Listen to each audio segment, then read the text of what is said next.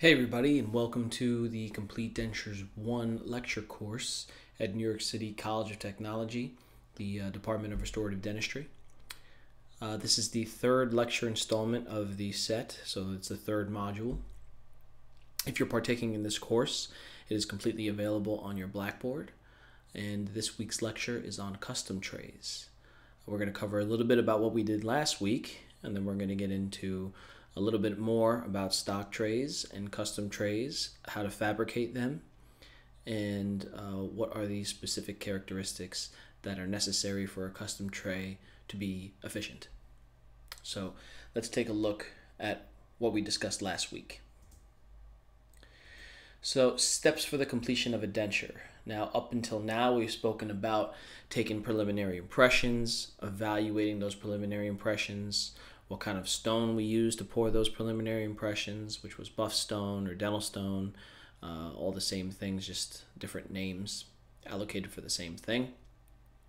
We spoke about uh, right the the use of a stock tray and kind of comparing it to buying a small, medium, large shirt or suit at Target or something of the sort, and then kind of going to a tailor and getting a tailored suit, which is more like a custom tray right? Everybody's mouth is unique to their own, uh, kind of like a fingerprint. So therefore, a small, medium, large tray doesn't necessarily fit as well as it should to capture the proper anatomical landmarks to fabricate a complete denture. So with that said, uh, on those preliminary casts that we create from the preliminary impressions, we fabricate uh, something called a custom tray, which we're going to talk about today. Now, with that custom tray, uh, the doctor or clinician then takes a custom tray impression. It's then returned to the uh, dental laboratory where a technician bead box and pours the custom tray impression. Uh, on those models, we fabricate something called an occlusal rim, which we'll get into uh, in the next lecture. Then we receive and articulate those occlusal rims on an articulator. We spoke about what an articulator is in the first class, basically a piece of equipment that simulates the opening and closing of the human jaw. And then we're at the point where we would set uh, teeth in wax and we do a trial setup that's goes to the dental office where the clinician or dentist tries in the wax trial teeth and then we would receive it back and finish up uh, waxing and creating uh, gingival characterization on the case and uh, we would do a final trial if necessary or possibly process the case. But we'll get more into depth when it comes to the steps in fabricating these uh, probably a little later in the semester. So as we talk about a custom tray and what that is, uh, first we have to answer the question, yeah, what is a custom tray, right? And why do we need to fabricate a custom tray? Here we have an image of what a custom tray may look like. This one is actually made out of a uh, cold cure acrylic, but we'll get more into that in a little bit. So when we talk about what is a custom tray and why do we need to fabricate one, well, let's dive into it a little bit and take a look for ourselves, right? So what we have in front of us is a preliminary impression. Now, although this material is not uh, alginate impression material like we spoke about uh, in last lecture session, um, it is a, an impression material used for preliminary impressions. So when we look at preliminary impressions and we look at what we see here is a plastic stock tray, right? So like we spoke about, you can buy these stock trays in small, medium, large type sizes. Um, we'll talk about the different types that they come in. Uh, the prefabricated trays are made to fit everyone moderately well but it will not fit everyone. Now the plastic ones are adaptable. Um, you can apply some heat to them, stretch them, morph them, but overall the length of the borders and things of that nature are not custom to each individual patient, right? So what a custom tray does is that it provides a dentist with an impression material carrier that permits to make a more accurate impression than they could making use of a stock prefabricated tray. So a custom tray is made on the diagnostic cast, also referred to as your preliminary cast. uh, which you have obtained through pouring your preliminary impressions, right? So we talked all about that in the last two lecture sessions, and now we're here making our way towards the fabrication of a custom tray. So we spoke about different types of trays. So one of them visually here are metal stock trays. Uh, these were very common at one point in time. However, now uh, not so common. Um, disposables seem to be uh, more sanitary, easy to keep up with. These metal stock trays were uh, definitely more affordable because of the concept that you can sterilize these in an autoclave machine. Um, if you needed to for reuse and things of that nature. So these were reusable stock trays. But we also see more commonly now that plastic stock trays are used uh, throughout dentistry. These are just used for single use and then disposed of once the impression has been poured.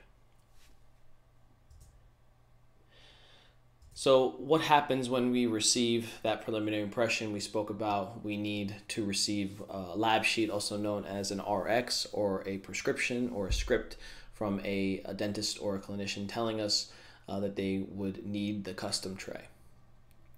So with that RX or script, we also receive the model or impression. Uh, more commonly, it's usually the impression. Uh, so we pour that up. Um, Sometimes you'll see that the dentist will draw the borders or outlines of the proposed custom tray on the diagnostic cast if they poured the cast for you uh, and gives other design directions. In many cases, you're not going to see dentists taking the time to draw an outline for you and really dictate how they want a custom tray to be fabricated. Uh, however, it does occur. Uh, some dentists will have assistants pour a model and then evaluate the model before sending it to the laboratory. But all the information and any excess information is always good information. So, things they might dictate to you is the kind of handle position they're looking for. Uh, you may see different variations of a handle, handles that are located on the palate, handles that are located uh, towards the anterior residual ridge area handles that are uh, dipped out at 45 degrees, 90 degrees, large handles that are like the thickness of a thumb, small handles that are just enough to grab and get leverage on. Uh, it varies throughout preference of the doctor. And we have the amount and placement of wax spacer. So we'll talk about what wax spacer is and why uh, we would use it. And then vertical stops or tissue stops, which we'll talk about as well. So the Air Force talks about some of the more popular ways of making a custom tray. We have a self-curing resin dough method, which is basically a cold cure acrylic. Uh, it's mixed monomer and polymer, polymer, monomer being the uh, liquid, polymer being the powder. Uh, when mixed together, uh, it creates a chemical reaction called polymerization, where the acrylic goes through certain stages. It becomes doughy and then becomes a hard uh, resin or acrylic. Uh, this can be rolled out kind of like pizza dough and then shaped into the shape of the desired custom tray. And then we have a vacuum method uh, that's spoken about in the Air Force Manual as well, something that's not uh, as commonly used today. Uh, we would use a large uh, vacuum machine that would use the power of air or what people used to call a suck down machine. And the material would sit on a plate with metal holes in it uh, well, the object would sit on the plate, the model, and then there'd be a heating element that heats a material uh, like a sheet. It begins to droop and get soft. The material is then laid over the model, and then uh, suction and air pressure is used to kind of adapt the uh, model, uh, the material over the model, and create your custom tray. Uh, this is something that's once again not more most commonly used today. And then we have another one that is light cure material. Light cure material is used for uh, a variety of different things in dentistry nowadays. And uh, it is very common that you'll see a custom tray made out of light cured material. And obviously, due to uh, advances in CAD CAM technology, uh, another way that's not listed in the Air Force manual is the 3D printing of resin material uh, for custom trays. So in your lab classes, you should be exposed to both the self-curing resin dough method and the light curing methods used to fabricate a custom tray. So when it comes to custom trays, how are we going to fabricate one? So let's talk a little bit about what is a custom tray and why is the term undercuts important, right? Uh, what are the steps, really, is what we're going to be talking about. So, first, we're going to use base plate wax to generously fill in all undercuts within the tray area outlined on the cast. Now, when we talk about undercuts, we need to understand what that means, right? So, what's an undercut? The Air Force Manual will define it as the portion of the surface of an object that is below the height of contour in relationship to the path of placement. Uh, it's a lot of words and it could be too wordy to the point where it kind of gets confusing. Uh, so if we break down the terms here, one of the terms that if you don't know the definition of, it can very much confuse you, is height of contour.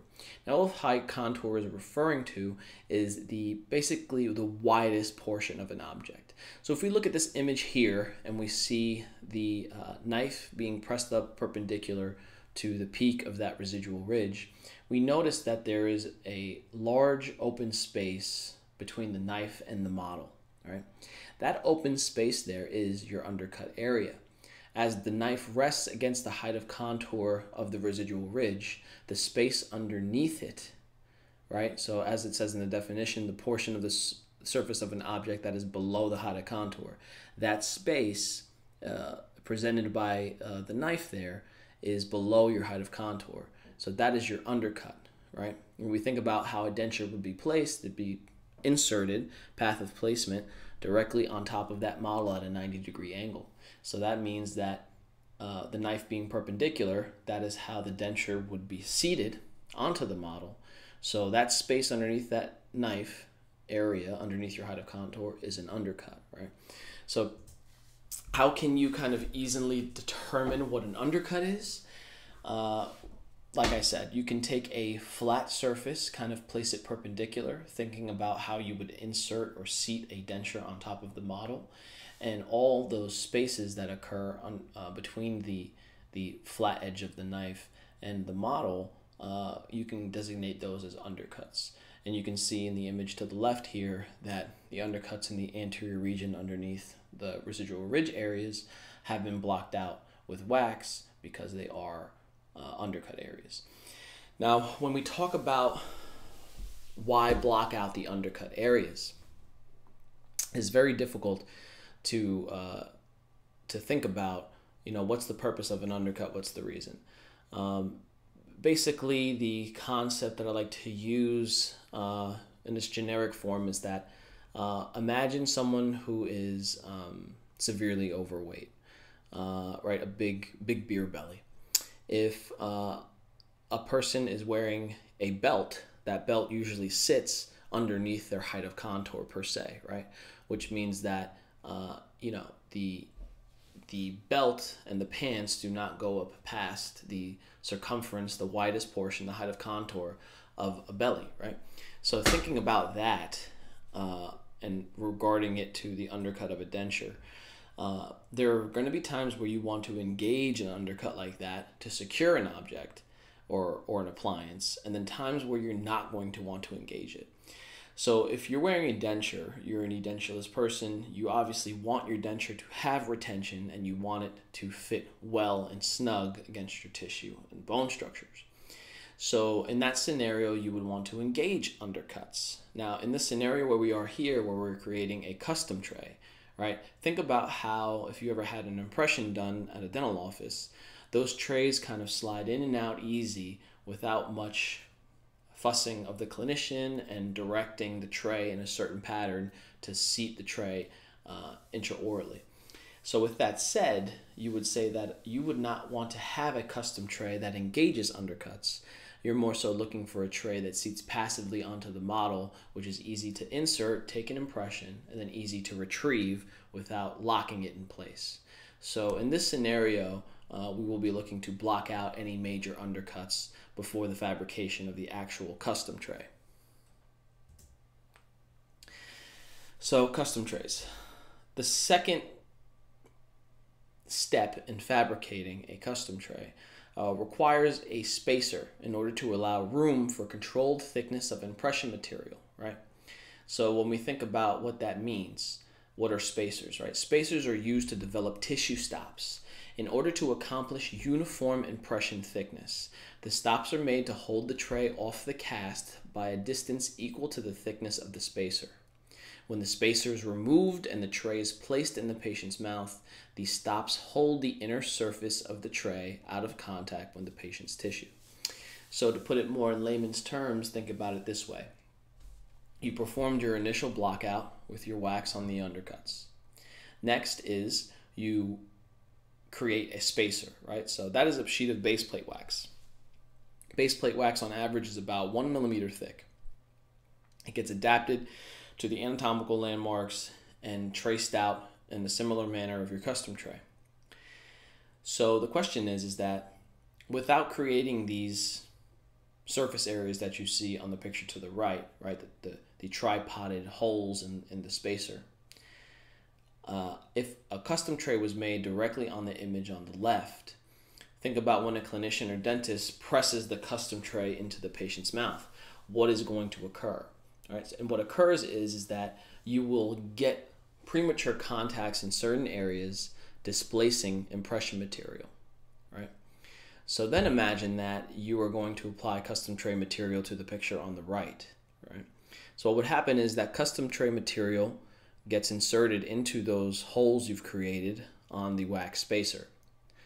We then cure whatever method uh, or whatever method we're using to create the custom tray uh, we cure it and we fabricate it completely. Once we remove the custom tray from the model, the wax spacer is usually on the inside of the custom tray, right? So once you peel that wax spacer out, what's left on the inside of the custom tray, right? There should be basically three evenly raised areas in tripod formation inside of the custom tray, right?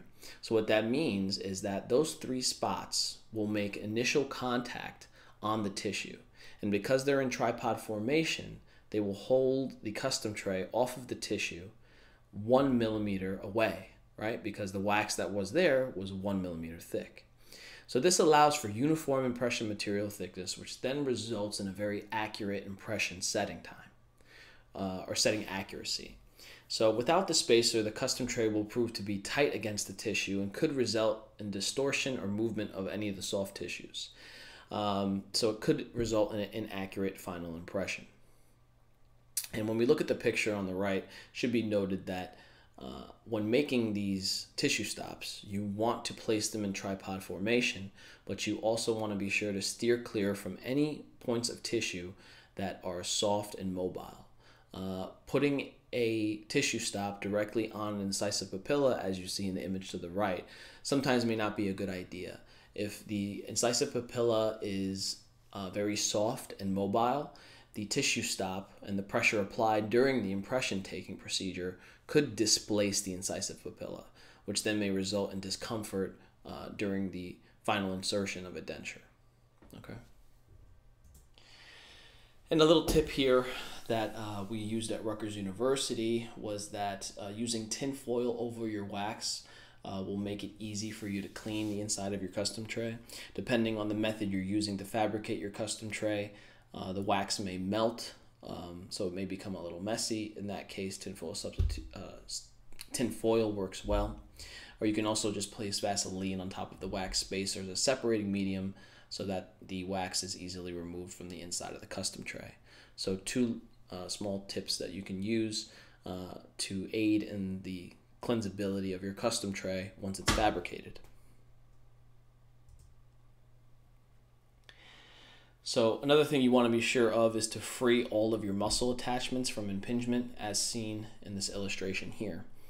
And one of the things that you have to think about as far as why would you want to free a muscle attachment is the, the concept of when pulling your lip, you can probably locate a few muscle attachments or frenums within your mouth.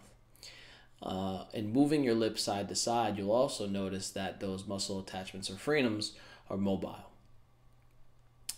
As they are mobile, this means that they need the freedom to move during function, right? When eating, when creating faces, uh, facial expressions, speaking, your lips are constantly moving, which means that your frenums are moving. If you do not compensate for that space and capture these frenums accurately, uh, it could pose a problem during insertion of the denture. And one can cause pain, and two, it can cause the denture to dislodge. So it is important to assess these uh, individual frenums or muscle attachments and free them accordingly, even during the custom tray fabrication process. So one of the ways of fabricating a custom tray out of acrylic or self-curing resin as uh, described before is that you're always going to follow the manufacturer's directions for monomer and polymer ratios when mixing. You're going to mix the monomer and polymer components of the autopolymerizing resins. Allow the mixture to set until it reaches a doughy-like consistency and wear gloves when handling the resin. Uh, it's not a good idea to not wear gloves. You don't want that monomer uh, seeping into your skin. Um, so always important to wear the proper PPE. So some more steps in fabricating an acrylic custom tray. Uh, you're, you're going to lightly coat uh, the glove fingers with Vaseline before handling the dough so that it does not become a sticky mess. Make sure that the mold is coated with Vaseline. You're going to place the resin into a stone mold, which you'll see in a video a little later on. And cover the resin with a polyethylene sheet and roll it out, uh, almost like uh, a pizza dough. So what you see underneath there is the stone template they're talking about. Um, the blue sheet in between is your acrylic, and the plastic sheets that are on top of the acrylic are your polyethylene sheets.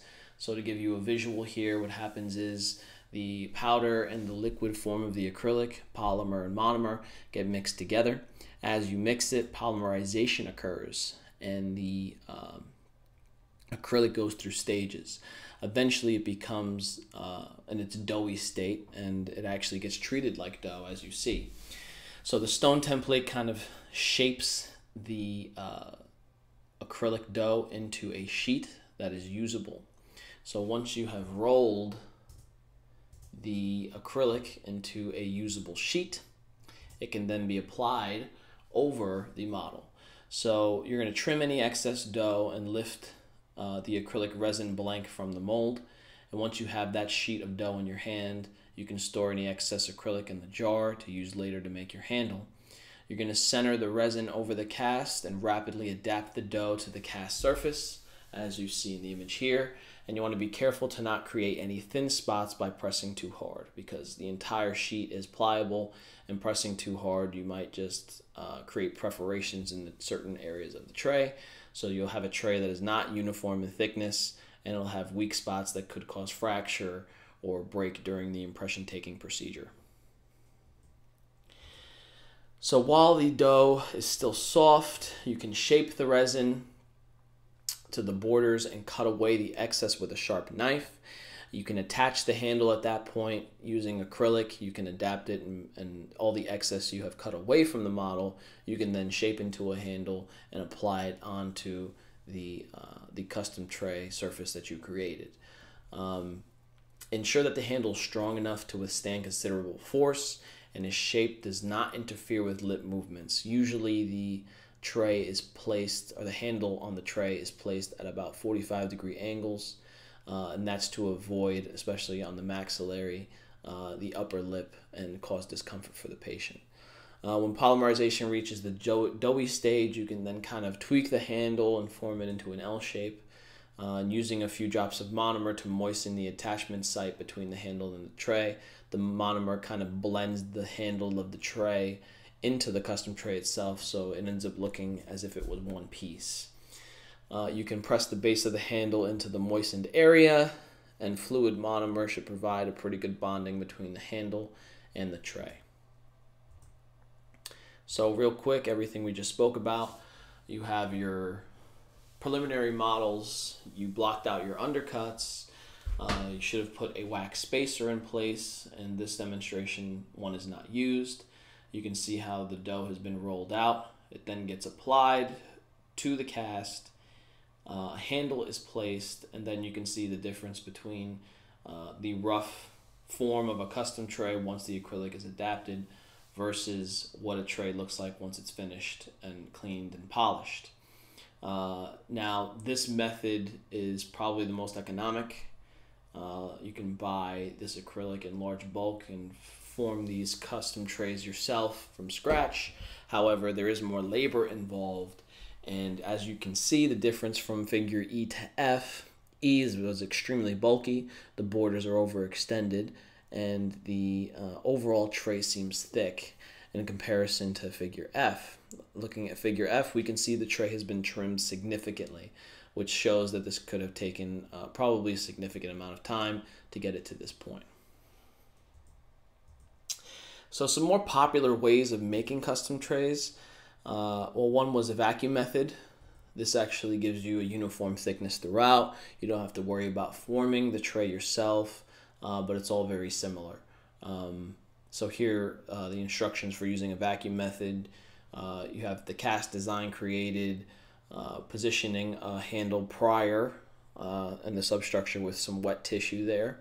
Uh, the material then gets adapted on the vacuum form machine, as we spoke before, and then once it's adapted, it gets cut away with the disc, and it can be trimmed and polished, and uh, you basically have a tray that's already formed very nicely to the model uh, with a small spacing used from the wet tissue paper. And now, what's something that is a little more common uh, is a light cure uh, custom tray material. So some of this material sometimes can slump. So you'll see in this example in figure A, uh, we can adapt the material to the blockout cast and form a substructure for the handle using a wire. The wire kind of supports the handle sometimes when not using the wire, depending on the light cure material you're using from what company. It could be uh, a little soft and it can slump. So a lot of times what I see is that uh, students will form a custom tray out of light cure material with a handle that's in a great position and they put it in the light box and step away. Uh, this light cure material does not cure instantly, so what can occur is that if there's not support on the handle, it can slump as it's curing.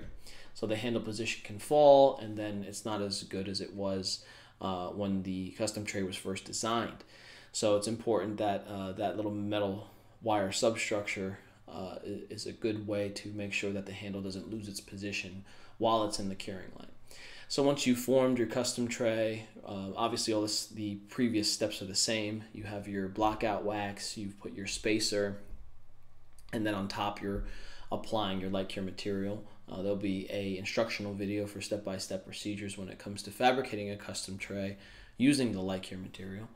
Um, and we're just looking at what that looks like. And this ha probably has the least amount of labor involved. Uh, light cure material is very easy to work with. It's easy to be cut and trimmed in its soft state, and it has minimal finishing. So a very quick look at what some custom trays may look like. These handles are larger. You can see that the tissue stops are present. Uh, borders are uh, slightly overextended in some areas. Uh, but once again, custom trays become somewhat of a preference when it comes to what the dentist or clinician wants. But you do want to follow some general uh, procedures and standards and protocols. And some of those things include like the handle position should always be away from the lip.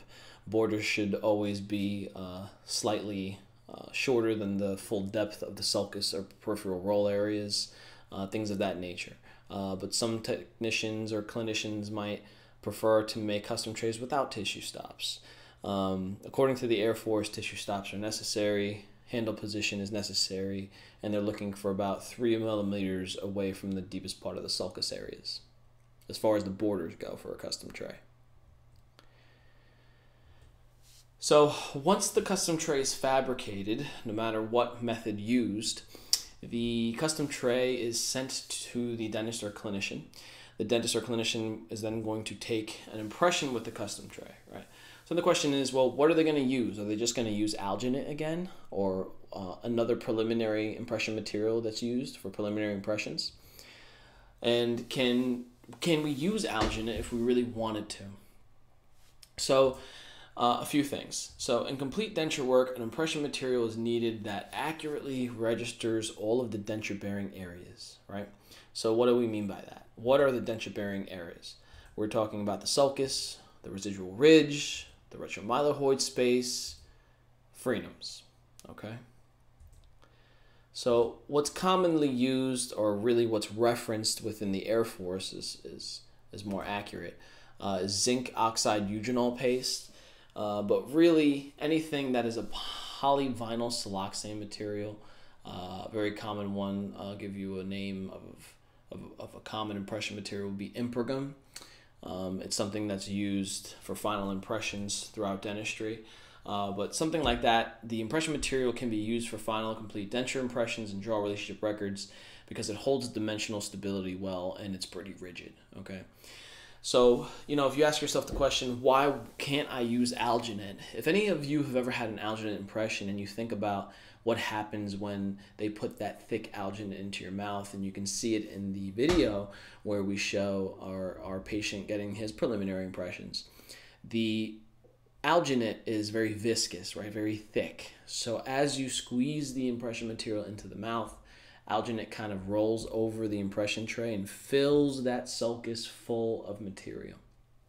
So when you pour this preliminary model, you're actually getting tissue that is fully stretched, right? And when you think about how a denture fits, a denture is fitting and has to fit while lips are at rest, uh, the mouth is in function, and all these other factors that fall into the category of being able to kind of function with a denture.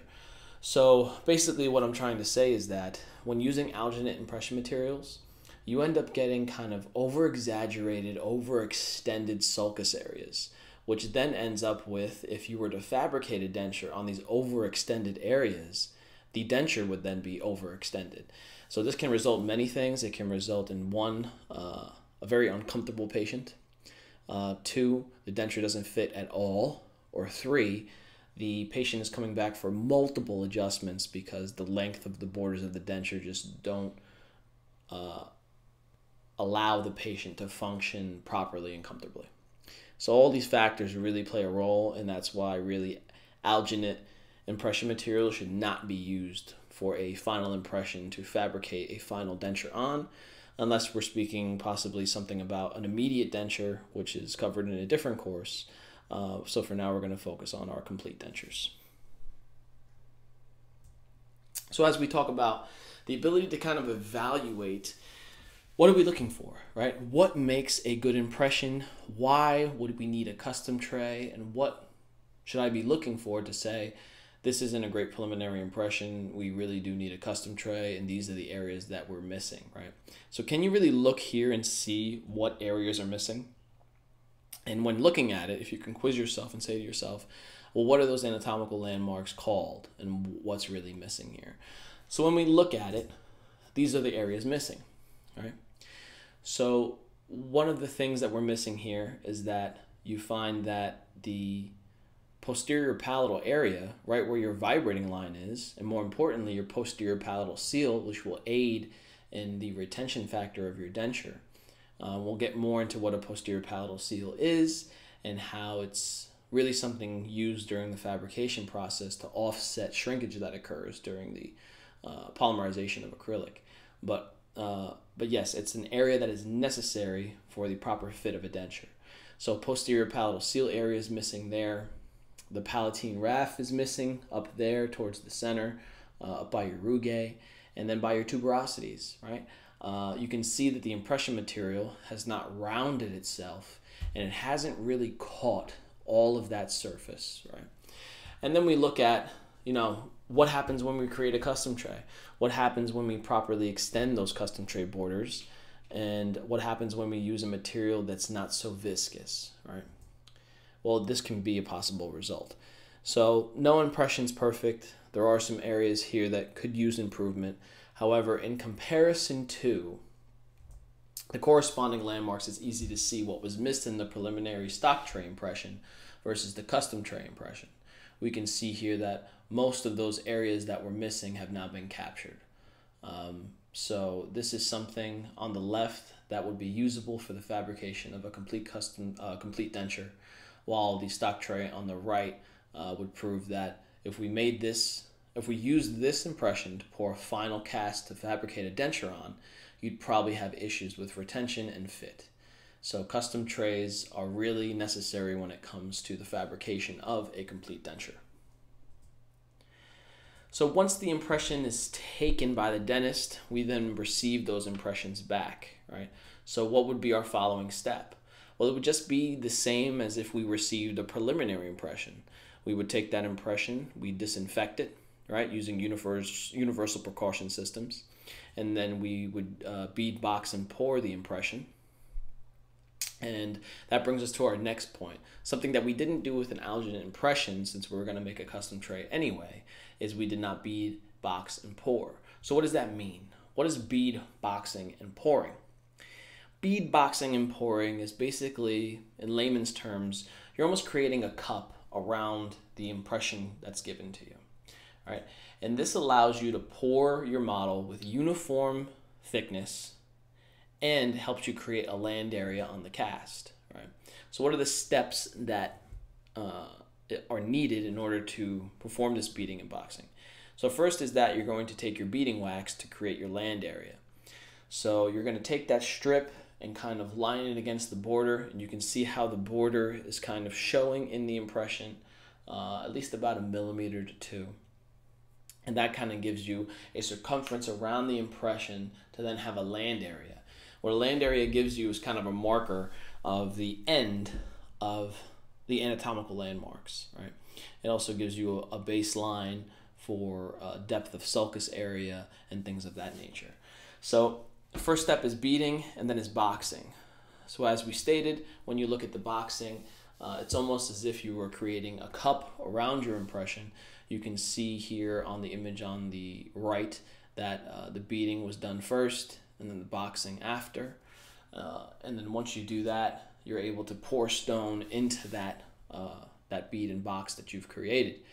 Now, um, sometimes it can be tricky. Sometimes impression material can be a little moist, a little wet, uh, makes things a little difficult. But overall, this is a process that you're capable of doing.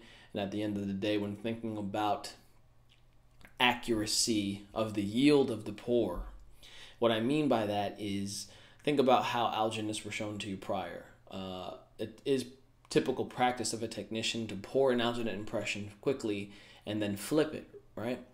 But there is an issue with that. When we think about what happens when you pour an impression and flip it, you just poured all of that stone into anatomical areas that are necessary to fabricate an appliance or, or a, a prosthetic. So by flipping it upside down, and the stone is not completely set, what's occurring? And the answer is gravity. Gravity is occurring, right? So even though it's minuscule, even though it might not be noticed, stone is still pulling away slowly from the impression.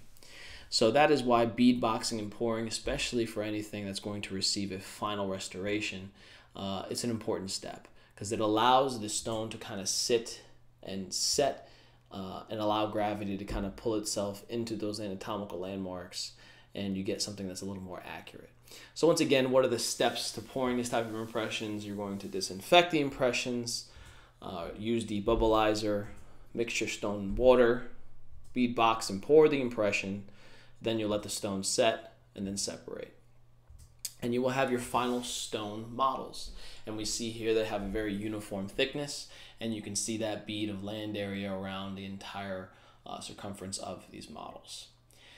So that kind of covers the idea of what a custom tray is, why we would need to use one, what are important factors in custom tray fabrication, what are the different methods or common methods used.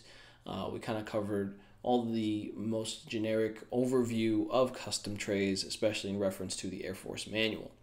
So please brush up in your Air Force manual within the custom tray section. Give yourself an idea of how to fabricate using those different methods we spoke about in the lecture today. I will also place a reading assignment within your module so that you have pages to reference uh, within your Air Force manual.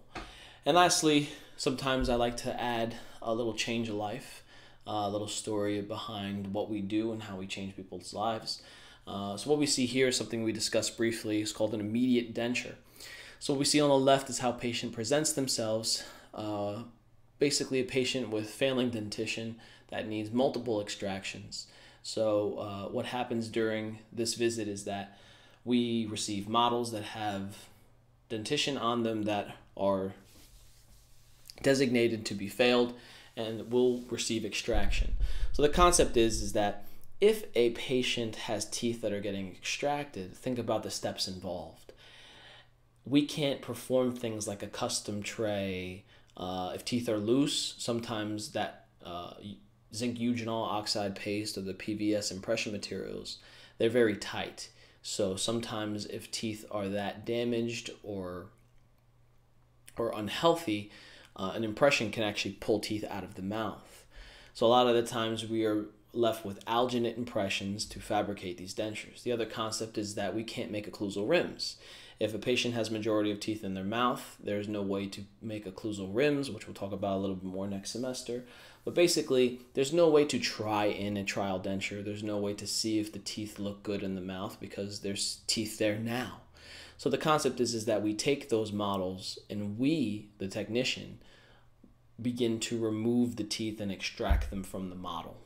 We use the existing teeth as a guide to place new denture teeth, and you can see here that the end result is a complete denture set based off of preliminary models.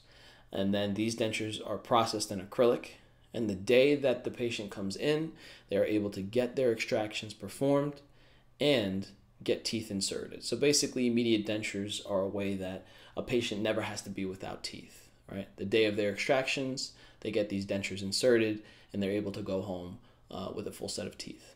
So, just a little insight into what immediate dentures are. We'll cover that more in Dentures 3 course if you decide to enroll. It is an elective. Well, that's all I have for you today, guys. I hope you enjoyed the lecture. Uh, any questions, feel, please feel free to reach out to me. And uh, be sure to perform all of your assignments within Module 3. And uh, I'll be talking to you soon. Have a great day or night.